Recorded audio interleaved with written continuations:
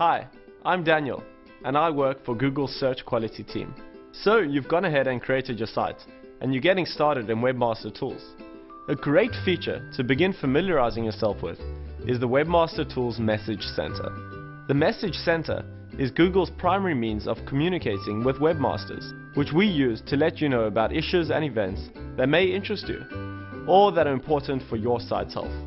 We also use the Message Center to alert site owners of important information available in different areas of their Webmaster Tools account. Beyond notifying site owners of behavioral changes in their site, many of our messages provide site-specific examples to help you further troubleshoot or understand what is going on. Many of these messages relate to something impacting your site's performance in search results. So we understand that you'll want to get this information quickly. We suggest using our email forwarding feature to ensure you receive these messages right away. We'll only email you when we think it's relevant, and you definitely do not want to miss out on those communications.